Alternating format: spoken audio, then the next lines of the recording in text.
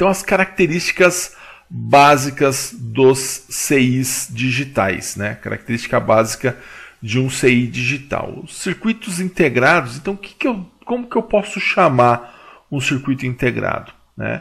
É um ajuntamento, é uma coleção né, de componentes onde eu coloco tudo num determinado pedaço de material. E esse material nós damos o nome de chip. Então eu pego um chip né, e vou integrar vários tipos de componentes, né, vários componentes diferentes. E aí, é, nessa integração, eu tenho ali é, centenas de transistores, resistores, capacitores, tudo integrado numa única pastilha. Né? E essa pastilha nós vamos dar o nome de chip. É como se nós tivéssemos algo assim. Né? Então aqui a gente tem o circuito integrado, né? o encapsulado. E vamos imaginar então com uma visão de raio-x, a gente consegue ver aqui a parte de silício, é onde você tem lá a, toda a parte é, realmente é, dos chip, do, do, do, da integração dos componentes. Então, como o próprio nome fala, circuito integrado. Nós temos uma integração de vários circuitos.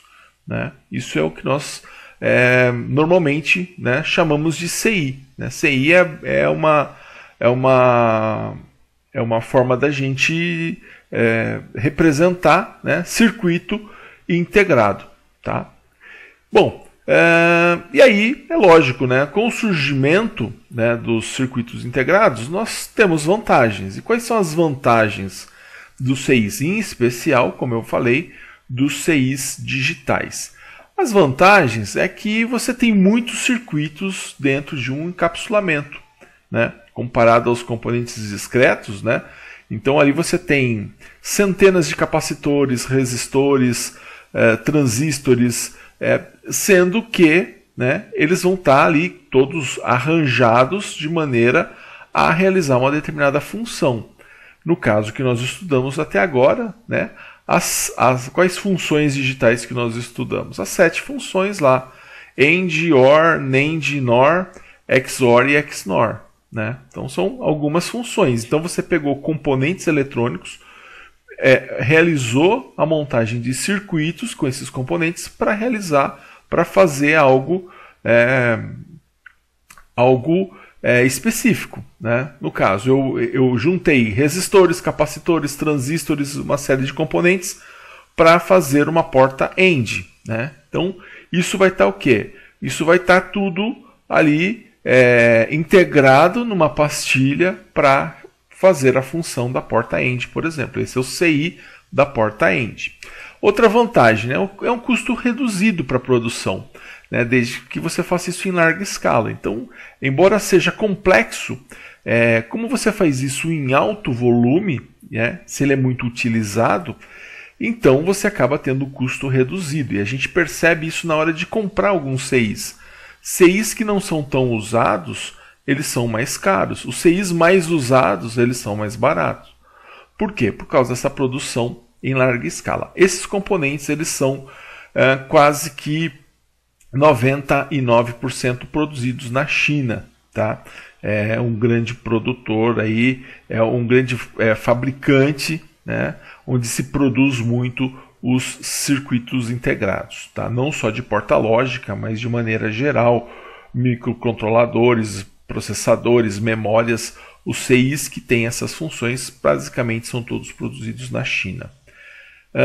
Redução no número de conexões externas, né? porque é, você não precisa de trilha externa, você não precisa de solda, porque está tudo ali compactado. Né? Não corre o risco de solda fria, já está ali tudo junto, você não tem é, é, essa preocupação. Tá? E a redução da potência elétrica para realizar as funções digitais. Então, quando você tem um circuito digital, você tem uma, uma corrente menor, uma tensão menor, você trabalha com parâmetros menores que, ora, pode ser vantagem, ora, pode ser desvantagem. Então, é, você tem uma potência elétrica dissipada menor, consequentemente, o seu aparelho consome menos potência, gasta-se menos energia elétrica, o que é muito vantajoso. Então tá aí as vantagens, mas tudo que tem vantagem também tem desvantagem, né? É, nunca você tem um lado somente positivo. Em tudo, na eletrônica você sempre tem dois lados, né? Aquilo que é bom e aquilo que é ruim. A desvantagem, essa é uma desvantagem, é, um, é, um, é, uma, é um ponto que é, é, é, a grande, é a grande questão dos, dos CIs, é que eles não suportam correntes ou tensões elevadas. Eles são componentes de baixa tensão, de baixa corrente. Tá? Você, e a gente até já estudou isso né, quando nós estudávamos transistores, onde a gente citava exemplos assim, olha, eu tenho um CI, esse CI ele não consegue acionar um relé, então tenho que usar um transistor. Eu tenho um CI, ele não consegue, ele não tem corrente para acionar um motor, então temos que usar um, um transistor ou um relé.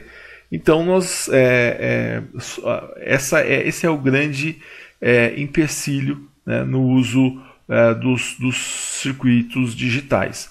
Empecilho não, que como você consegue fazer um chaveamento com um circuito de potência, com transistor ou com relé, ou com transistor e relé, muitas das vezes você acaba superando isso.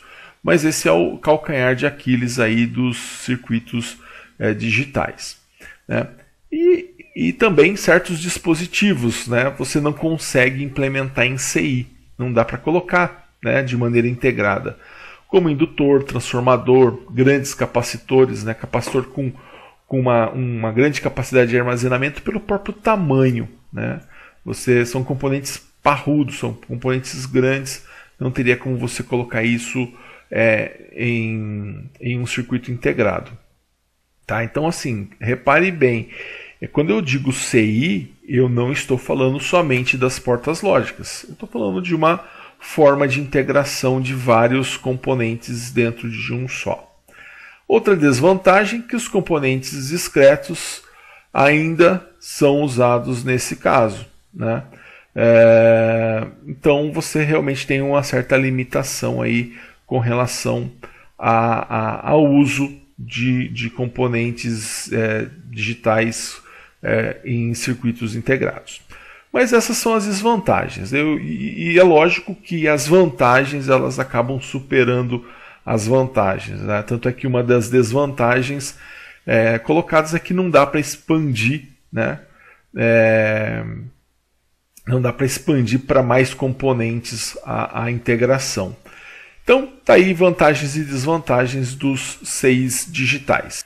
E como o tema da aula é famílias lógicas, né, não poderia ser diferente, nós vamos estudar então é, duas famílias lógicas, as duas principais famílias lógicas. Uma delas é a família TTL, né, essa é a principal família de CIs. Tá? Ela é composta de transistores bipolares, né, são os transistores bipolar de junção que nós estudamos em eletrônica, né, que são tanto o NPN quanto o PNP. A outra família é a família CMOS. Tá? Ela faz parte de uma classe de CIs unipolares. Né? A bipolar contém dois polos, a unipolar apenas um polo, são os transistores unipolares, o MOSFET. Tá? Aí ele é canal P ou canal N. Seria equivalente ao, ao NPN e o PNP é, em relação ao bipolar.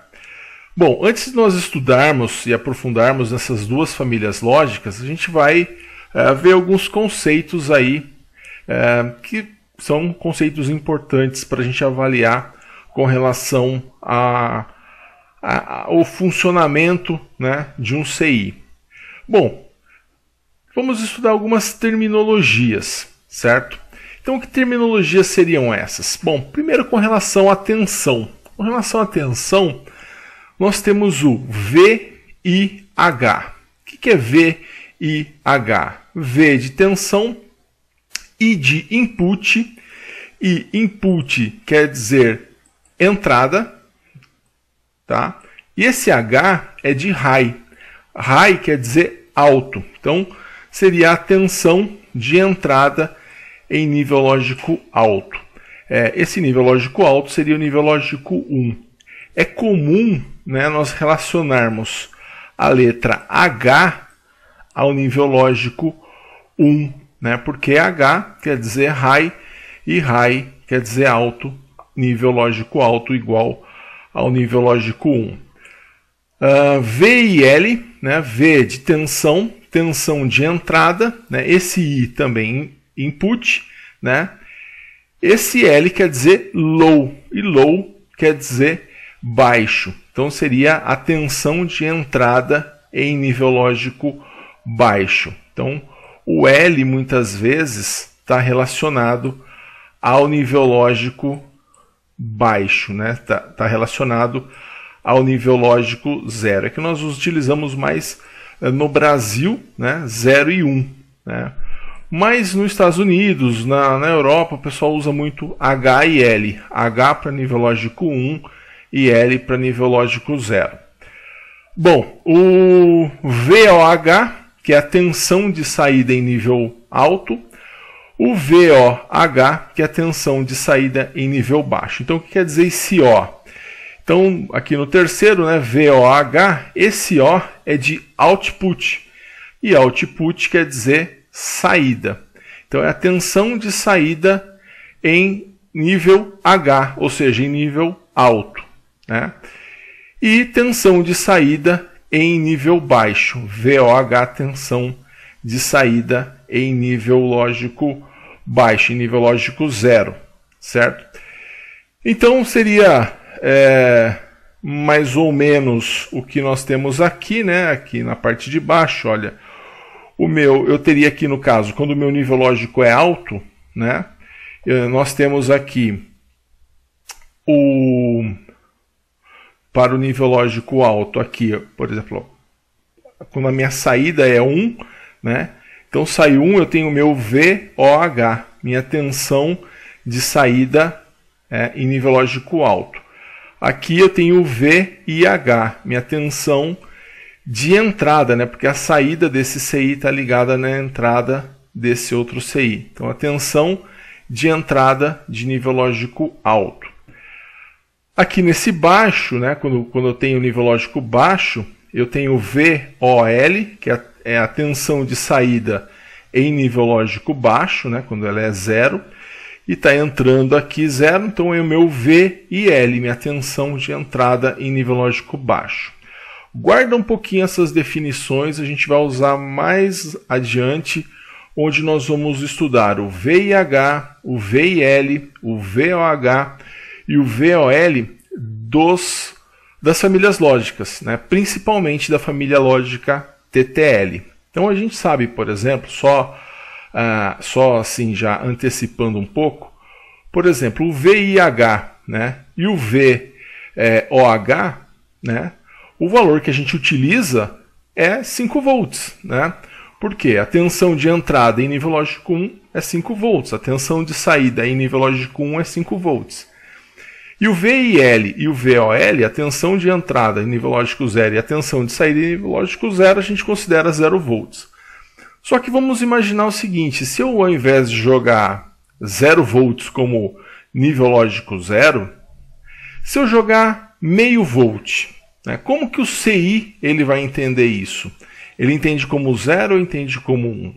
E se ao invés de jogar meio volt ou 0 volts, se eu jogar 1 um volt, e se eu jogar 3 volts? Se eu jogar 4 volts? Como que ele entende? Então, é baseado nisso que a gente vai estudar o VIH, o VIL, o VOH e o VOL aí dos, dos circuitos integrados. Então, estou só falando da terminologia agora e a gente vai usar depois, não precisa se preocupar nesse momento. Ah, com relação à terminologia de corrente, nós temos o IIH, né? I de corrente, I de input, que é a entrada, H de é, nível lógico 1. Então ela é a corrente de entrada em nível lógico 1. O I e L, que é a corrente de entrada em nível lógico baixo, seria em nível lógico 0, né? Corrente e esse primeiro I de corrente, o segundo I de input, o L de low, que é baixo. Então corrente de entrada em nível baixo. O IOH que é corrente de output. Esse O é output, que é corrente de saída em nível alto, e o IOL, que é corrente de saída em nível baixo. Então tá aqui, ó. Quando a minha saída é 1, Né? Então eu tenho o IOH, que é a corrente de saída quando eu tenho nível lógico 1. Ela vai entrar aqui no meu IIH, que é a corrente de entrada quando eu tenho nível lógico 1. No segundo desenho aqui, quando eu tenho uma, um nível lógico baixo, então eu tenho o IOL, que é a corrente de saída do nível lógico 0, e o IIL, que é a corrente de entrada quando eu tenho nível lógico 0. Então, também para as correntes, guarde aí essas letrinhas, essa sopa de letrinhas aí que a gente vai utilizar daqui a pouco também. Bom, outro ponto importante que nós temos é o que nós chamamos de fanout. Né? Fanout é a capacidade de saída. Ou seja, a gente sabe que os CIs eles são interconectados, a gente faz lá uma combinação. E essa combinação ela ocorre de forma que um CI manda sinal para outros CIs, ou para outro CI, ou para mais um, ou para vários CIs. Né? Então você precisa saber a capacidade de acionamento de uma porta. E essa capacidade de acionamento de uma porta, ou seja, quantas portas né, a, a saída de uma porta consegue acionar, para quantas portas a saída de uma porta consegue mandar informação. Né? Isso é o que nós chamamos de fanout, é o número máximo de entradas lógicas que uma saída pode acionar com segurança. Seria equivalente a isso. Ó. No caso desse desenho, eu tenho aqui é, três portas né, recebendo o sinal dessa saída.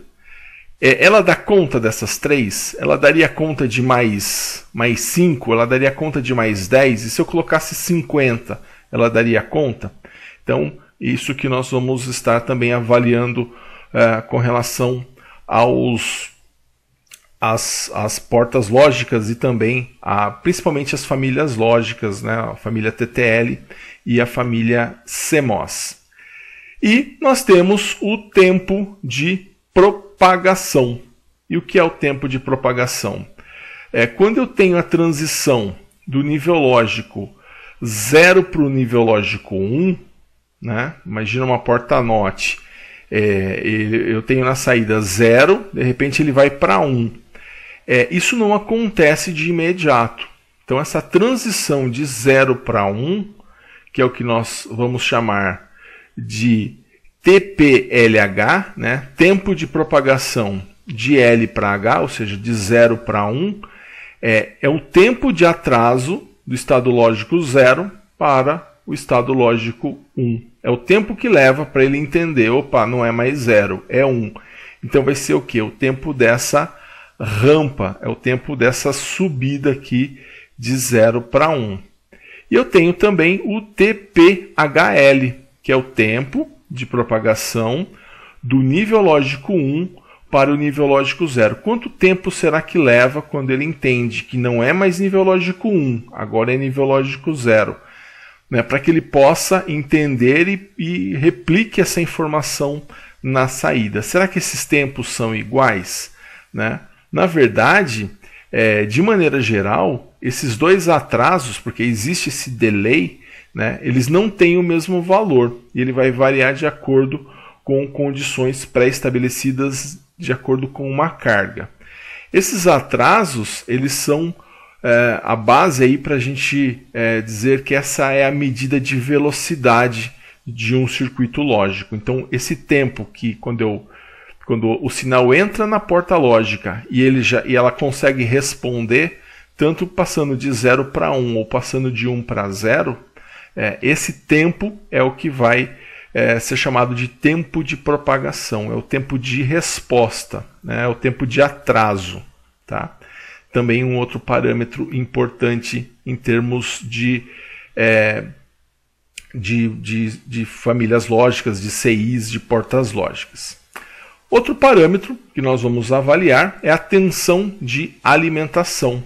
Né? A tensão de alimentação, nós já conversamos sobre isso, é o valor de tensão contínua que eu utilizo para alimentar um componente. É o valor de VCC GND. Né? Quando nós fazíamos exercício, eu falava: olha, o VCC é 5 volts né, de VCC para GND, né, para a gente alimentar lá os, o 7408, o 7404, o 7432 e assim por diante. Então a gente tinha lá um valor de tensão, que é o valor que eu vou aplicar entre o pino 7 e o pino 14. Bom, é, com relação aos componentes, nós temos algumas fórmulas, algumas formas de encapsulá-los. Né? Então você tem lá um, um, circuito integrado, ele pode estar encapsulado é, dessa forma aqui, né? onde eu tenho os pinos, né? e esse aqui é o que nós chamamos de DIP. Né? O, C, o, CI, o CI normal, quando você pega um CI, né? esse CI convencional, ele é um DIP. Né? Por que DIP? É dual in point, onde você tem os dois lados com terminais. Tá? É o que nós chamamos de componente PTH, né? o componente que atravessa uma placa. Mas nós temos outros tipos de, de encapsulamento. Você tem é, componentes aí, já são componentes de é, SMD, né? onde eu tenho, nós temos aqui o que nós chamamos de PLCC, né? onde muitas vezes esses componentes eles são soquetados. Né? É, eles podem ter podem ser o que nós chamamos de QFP, aqueles que têm aqueles terminais bem juntinhos, né? E aí eles são SMD, né? Eles têm o terminal deles parece com uma com uma asa de, de gaivota e o modelo é, proporcional a esse DIP em SMD seria esse SOP ou SOIC, né? Que é, ele tem também os, os, terminais no formato de, de, de gaivota, né? É, mas ele é um componente SMD, né? E aí a gente pode até evoluir. Aqui está o desenho né, dos famosos BGAs, né? Onde você tem lá, a, você olha de lado, aqui eu estou olhando de lado o componente, você vê as bolinhas. São aqueles terminais que você às vezes olha na placa e você fala, meu, mas cadê o terminal desse componente? Na verdade ele tem bolinhas, né? BGA quer dizer Ball Grid Array, né? São as bolinhas no formato de uma matriz, né? E aí essa bolinha ela derrete, ela vai aderir num pad que você tem na placa, e aí você não vê terminal em volta do, do, do seu componente. Né? Bem interessante e bem difícil de se soldar e de se dessoldar. Né? Para você trocar um componente desse, muitas vezes você precisa de estações de retrabalho especiais. Então, esses são, são os tipos de encapsulamento. E aí, aqui eu não estou falando só de portas lógicas, estou falando de circuitos integrados digitais de maneira geral. Tá? Um grande abraço a todos e bons estudos.